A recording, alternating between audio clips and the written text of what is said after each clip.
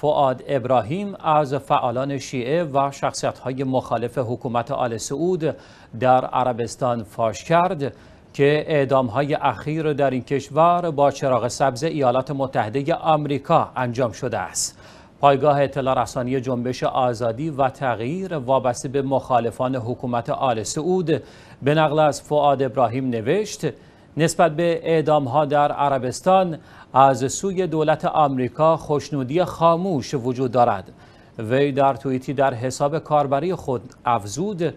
در سالهای گذشته دولت آمریکا یا یکی از بازوهای آن در اروپا یا منطقه نگرانی خود را درباره نقض حقوق بشر در قتل و نفرت پراکنی در عربستان ابراز می کرد اما اکنون حتی همین موضع بسیار ابتدایی هم دیگر روی میز نیست یا از بین رفته است. وی گفت عجیب نیست که اعدام ها در عربستان سعودی با رضایت خاموش آمریکا انجام می شود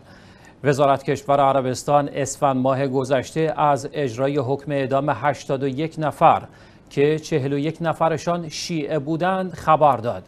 این اعدام ها به روش گردن زدن و به اتهامات واهی داشتن افکار نادرست عقاید انحرافی همکاری اطلاعاتی با داعش، القاعده و انصارالله یمن